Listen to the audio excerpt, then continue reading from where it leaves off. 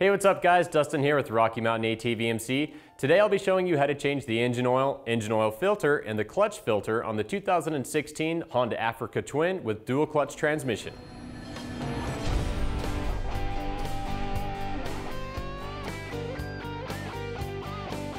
All right, so today I'm gonna show you how to change the engine oil, engine oil filter, and clutch filter on the Honda Africa Twin.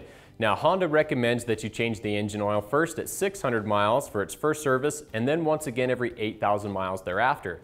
Now, as far as the engine oil filter and clutch filter are concerned, Honda recommends that you change it too at 600 miles for its first service, and then once again every 16,000 miles thereafter. Now, Honda came out with two different versions of the Africa Twin, one with a dual clutch transmission and one without.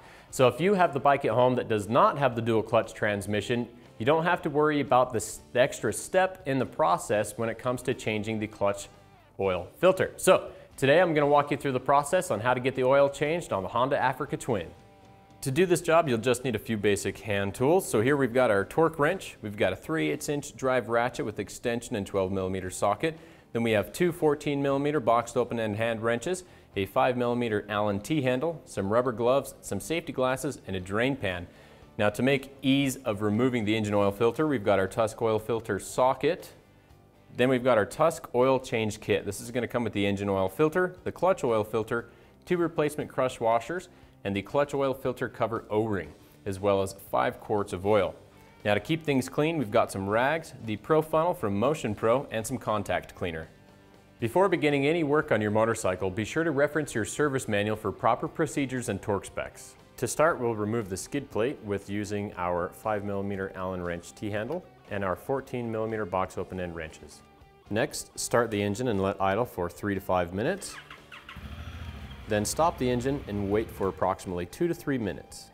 Place a drain pan underneath the bike, remove the fill plug, remove both of the drain plugs from underneath the engine case.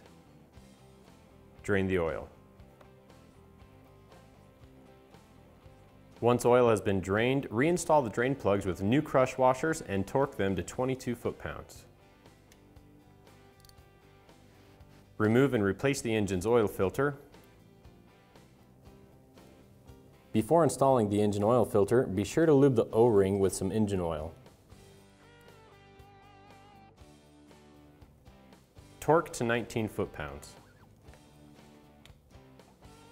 On the right side of the engine case, remove and replace the clutch oil filter and the clutch oil filter cover O-ring. Now the clutch oil filter may be difficult to remove, so you might want a pick to assist in the removal of the filter. When installing the new clutch oil filter, make sure that the rubber side is facing in towards the engine and press into place, followed by a spring. Before installing the clutch filter cover, be sure to lubricate the O-ring. When reinstalling the clutch oil filter cover, torque the bolts to 9 foot-pounds. Next, you can add 4.4 quarts of oil to the engine for the CRF 1000D, which is the Africa Twin with dual clutch transmission, or 4.3 quarts for the CRF 1000A, which is the Africa Twin without dual clutch transmission. Be careful not to fill the engine fill plug with too much oil too quickly. It may fill up fast and you may lose some oil out of the fill plug. Once oil has been added to the engine, start the bike and let idle for three to five minutes.